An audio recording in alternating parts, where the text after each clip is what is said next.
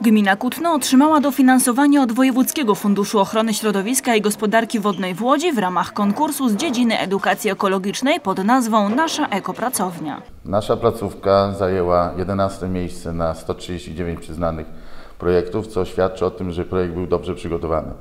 Twórcą tego projektu była tutaj stojąca obok mnie nauczyciel przyrody pani Dorota Kruszyńska.